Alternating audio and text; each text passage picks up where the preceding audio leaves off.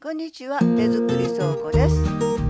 え着物をほどきますと半幅のものが結構出ますよね。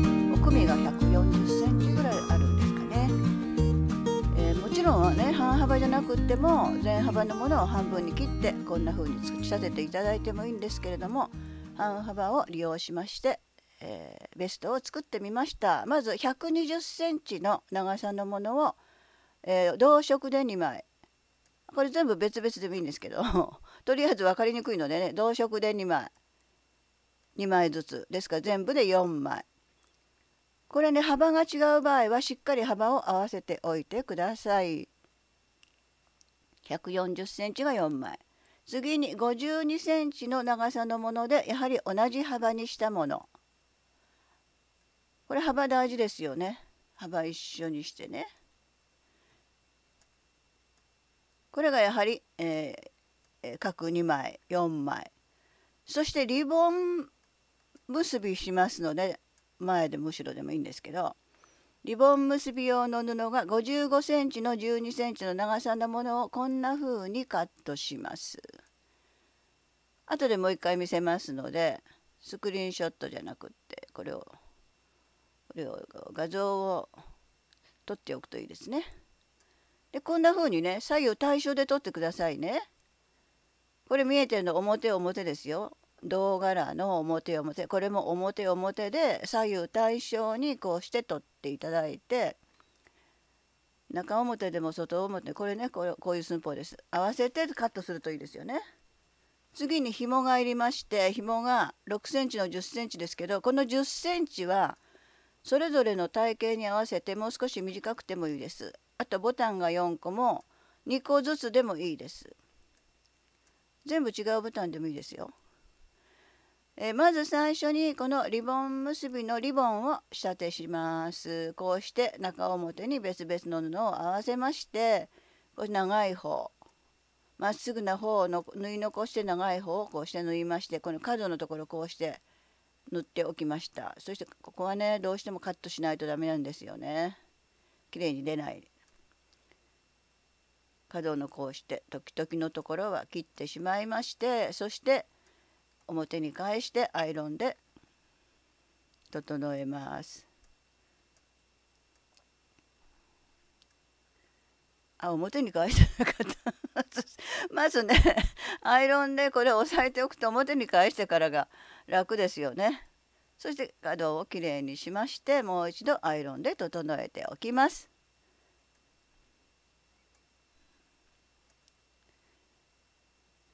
ここねあのお好みでステッチかけてもいいんですけれどもふんわりが好きなので今回はステッチこれはかけてないですけれどもそれは好みにしてください。次にこの紐ね1 0センチの紐これ長さは個人差でととうんもう少し短くてもいいですよ。もう少し、うん、長くてもいいですよ。大きい方は長くてもいいです。これを中表に8ミリぐらいの縫い代で縫いました。そしてこうして半分にこうこうなりましてそして中にこのゴムを仕込むんですね。でこれもあのボタンホールでもいいです。長さ調整していただいてボタンホールにしていただいてもいいんだけどもボタンホールね苦手な人いるかなと思ってそしてこれで、えーゴムにしてみました。中に入ってしまうので全然ゴムで大丈夫なんですよ。こんな風にね表に返してこうしてゴムこうして。表に返すところがね映ってなかったんです。ごめんなさいね。こんな風に紐を作っておきました。次に、えー身ごろを、えー組み立てますけどもこんな風に組み立ててほしいんですね。120センチの中心から、えー両サイドに8センチ8センチのところに52センチを取り付けます。これね裾からねぼっかけてくるともう絶対合わなくなるんですよ布がヨレヨレしてますし。ですから中心部分をまず取って120センチの中心部分の両サイド8センチ8センチのところに短い方の布を取り付けるっていう。ですから真ん中に四角い穴が開くんです。これが首が入るところなんですけどこういうふうに、ええ待ち針で留めつけますしっかり。この中心から8センチ両サイドに8センチ8センチ。一応す裾で寸法は合うはずなんですけどもそうしましたら縫うんですこれを縫い付けるんですけど今のここここねこう1センチ縫い残して縫います。1センチ縫い残してこの4枚を縫い合わせします。全部ね。4箇所ありますよ。こうこういうふうになります。1センチ縫い残して縫います。両方の布をこうして、えー、組み立てまして1センチ縫い残してこうしてねここ1箇所2箇所。これ布残さないと縫えないんですよ。綺麗に。3箇所。それぞれ4箇所ここにもうもう1箇所。それぞれ4箇所あります。こちらの方も同じ。こちらもちょっとくどいようですけどここ間違えると縫えないのでやっておきました。こうしてね。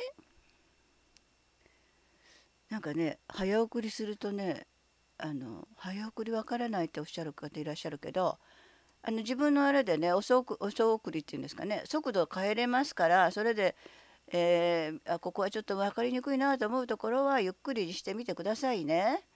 そうしましたら今縫いましたところを全部こうしてアイロンできれいに割っておきます。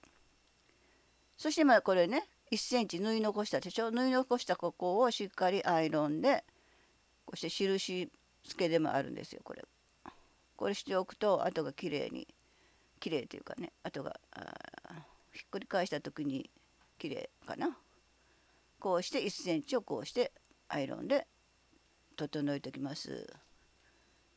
これ両サイドねここもこの部分この部分さっきやってなかったですけどこの部分もアイロンでしっかり、えー、1センチ折っておいてください。縫い代が1センチですからね、えー、次に肩触りをつけます。こうして今四角いところ縫いましたよね。あ四角いところができましたよね。それのこの根元と根元こうしてしっかり合わせてそして真半分に折りましてそしてこの輪のところをこれ肩下がり、えー、右サイドから8センチ入って右サイドのところが2センチ。これダーツのように取ります。左は反対ですよ。左は2センチの8センチ。左から8センチ。こんな風に縫います。ダーツのように。そしてちょっと1センチのところでちょっとだけ三角に縫っておく。こんな風にね。こう塗って1センチだけちょっと三角。こここうですよ。4箇所ありますねこれ。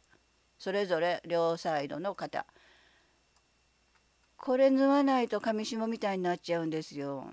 でやはりダーツのようにこれしっかり縫い止まりのところをアイロンをかけてしっかりさせておいてそしてこの時にダーツを倒すんですけどこれ割ってもいいですけどね。倒すんですけどこ入れ子っていうかな。片方は右に倒した片方は左に倒すっていう風にして、えー、両サイドに倒してください。え次にこの中心部分の四角い襟ぐりの今1センチ折ったとこねここ。短い方の布の方を先に縫いますここ。こうなってますよこうなっています。全部は縫えないんですよ。1センチ縫い止まりのとこで縫い止まりします。で今縫いましたこれ。こうなっています。こういうふうにここ。縫い縫いここここね。ここ縫いました。1センチ縫い止まりのところから1センチ縫い止まりのところまで。そしてもう一つの片方側の1センチを縫います。縫い合わせします。これいっぺんに縫っちゃってもいいんですけどまあ説明するためにこうしてわざわざっていうか別々に縫ってますけど全部あのピン打ちしておいて4箇所全部縫っちゃってもいいんですよ。こういうふうになりますね。ここをまずここで縫い止まり反対側のこのこの部分で縫い止まり。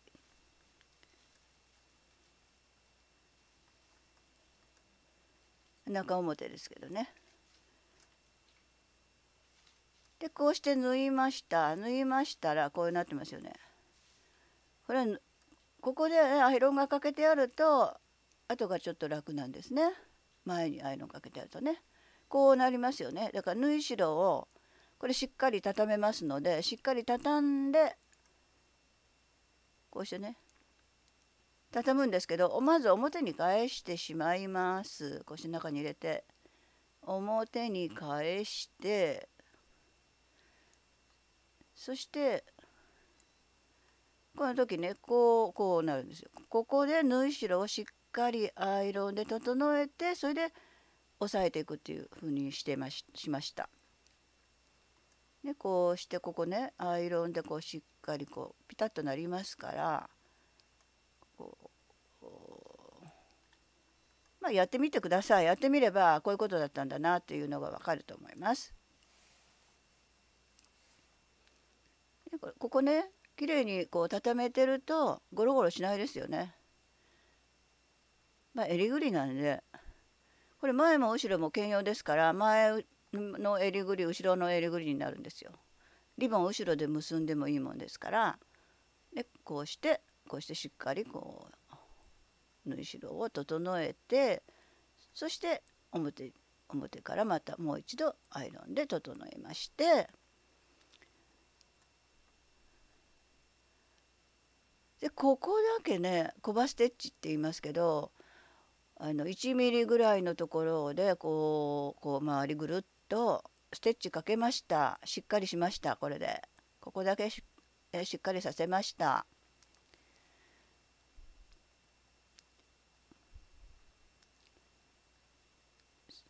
そしたらねちょっとここ大事な作業なんですけどもどうしてもね布が綺麗にキャッとしてもこういう差が出るんですね。布のまあ性質っていうのもあるんですけどそういう場合綺麗にピタッと当てる人はいるんですよ。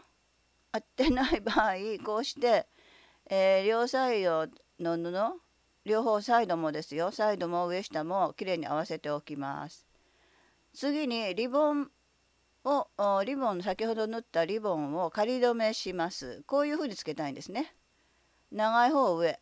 角になってる方を上にしてそして、えー、中表に合わせて下から18センチの本体下から18センチのところにリボンの中心を合わせますこうして。18センチね。18センチがひっくり返っとるわ。でこうして仮止めします。この下から18センチの中心18センチのところにこのリボンの中心を合わせるっていうことですね。こうこうです。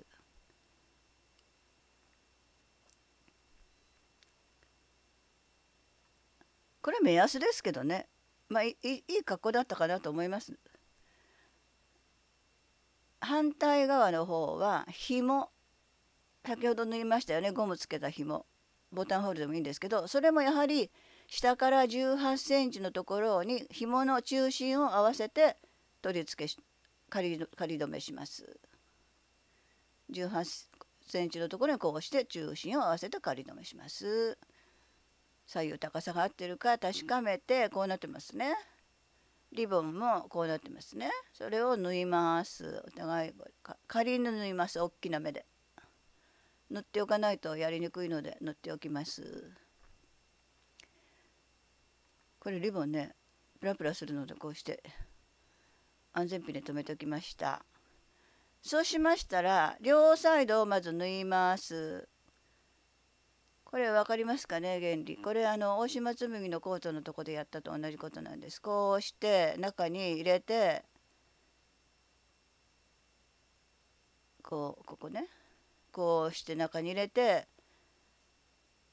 そしてまずサイドの片方の長い方をまず縫いますこれ手順やってみて分かったことなんですけどこれねダーツとダーツの縫い目のところ合わせるとちょうど中心になってますから合わせやすいですよね。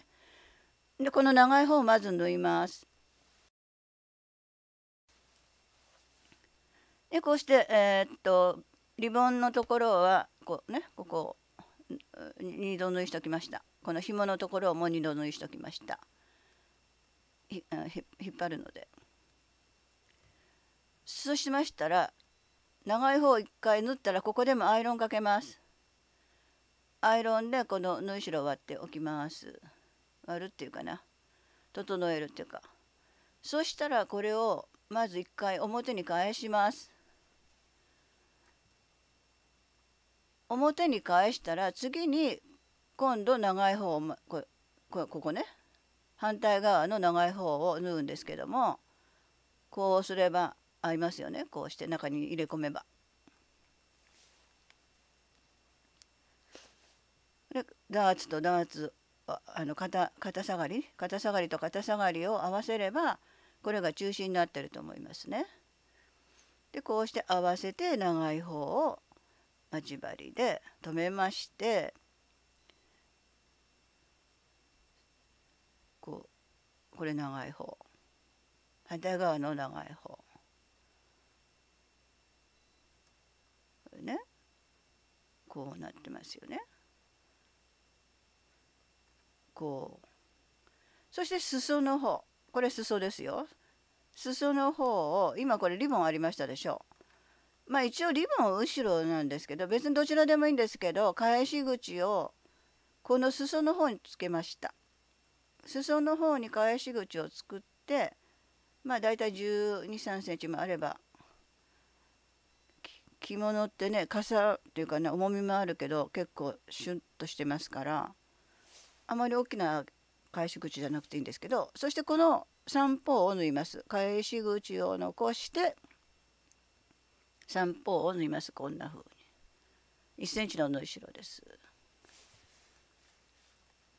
そしたらここでやはりアイロンで整えますね縫い代はこれねアイロンをかける手順でこんな風にしたんですよ。全部一気に縫うことできるんですけどそうするとねまたひっくりひっくり返してっていうか引き出してアイロンってことになるんですね。ですからこうしました。やってみてください。で角のところをしっかり、え、アイロンで押さえてそして表に返します。で一旦表に返してからこれねもう一度この角のところに手を入れてそして角をしっかりこう折り折りしたところをこうしてしっかり親指で押さえてギュッてそして表に返してそして針でキュッてやると綺麗にできますよね。これね着物縫ってる人はすごく上手に縫われると思うよ。私そこまで技術ないんですけどこんな風になってますね。そうしましたらえー、全部表に返したらアイロンでまたさらにもう一回整えますね。これねシルクで作ってるでしょ？これ河川じゃないんですよね。これニットもね同じような感じで作ってもいいと思うんですけど、まあ、わざわざわざわざスクエアネックにする必要ないかな。あ今ね裾閉じましたよね。えー、手をね引き寄せてしまうもんですから裾閉じるところあんまり綺麗に映ってなかったごめんなさいね、えー、裾っていうかあの返し口を閉じました茎縫いで次にこれ大事な作業なんですけどボタンをつけるんですけどこのリボンの中心部分ちょうど縫い目の中心部分にこのリボンをつけあのボタンをつけます。ですからこちらのボタンと裏のボタン違うボタンでもいいんですよ。これアクセントになってますからこうしてリボタンを中心部分にこうねつけます。そしたらこれをこのまま裏に裏っていうかも反対側に持ってきて糸をそしてやはりこのリボンの縫い目の中心リボンの中心にボタンをつけます。これ一度結んでおきました。片方取れた時も片方取れないように。で両側にこう裏表にボタンがついたことになりますね。これアクセントでもあるしこれ大事なボタンなんですね。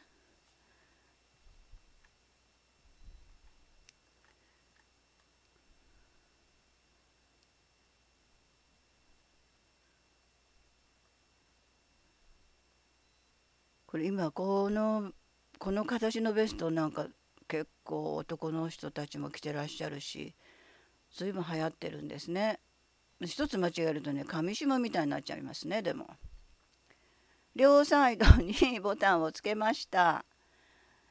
これで完成いたしました。こんな形になってるんですよ。これ両側にほらこれボタンがアクセントになっています。えー、着方ですけれどもまずこちら側を着たい場合こうして着てからこのボタンでうちまず最初にこのボタン見えてるボタンこんな風にボタンを留めます。そして前でも後ろでもいいのでリボンを結びます。でこれフロントリボンでフロントね前リボンで着た場合こうなりましてこれを後ろで結べばバックのリボン。バックのリボン結びのこれも可愛いですよね。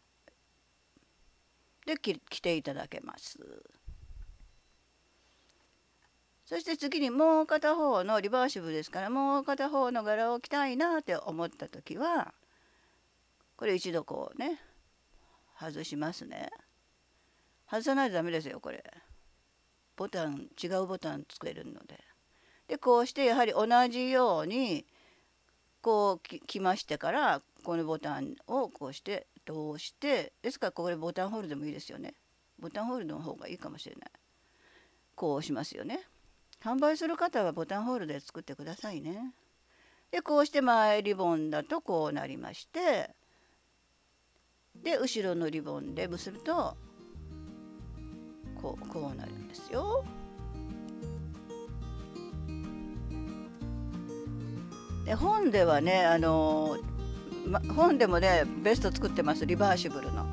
ちょっと面白い形皆さんおなじみの形だけども縫い方が面白いのでまたご参考になさってください。最後まで見ていただいてありがとうございました。